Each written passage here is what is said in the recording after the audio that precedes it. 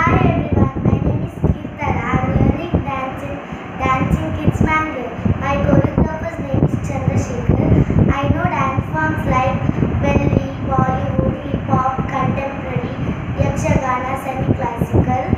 Uh, to perform uh, in competitions and to learn dance, my parents and my whole, family encourage and support me. Now I am going to perform hip hop dance, uh, hip